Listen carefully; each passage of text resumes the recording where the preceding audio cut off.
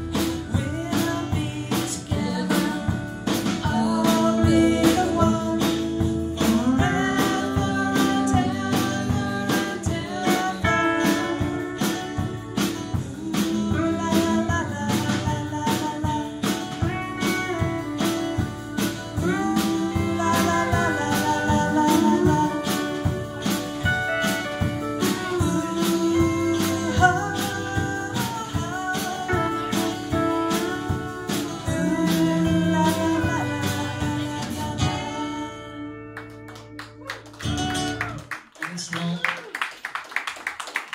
It's considered a